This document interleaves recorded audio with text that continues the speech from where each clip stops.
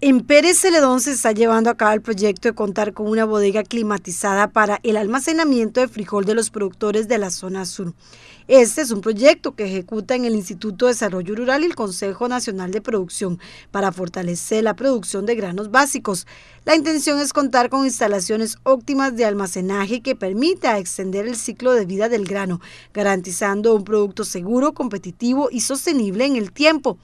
En la región Brunca, la bodega se localizará en la comunidad de Daniel Flores, específicamente en las instalaciones del CNP. Los trabajos de acondicionamiento y colocación de equipos especiales beneficiarán a 1.200 pequeños y medianos productores de frijol, con el fin de trabajar un volumen de almacenamiento de 14.000 quintales del grano.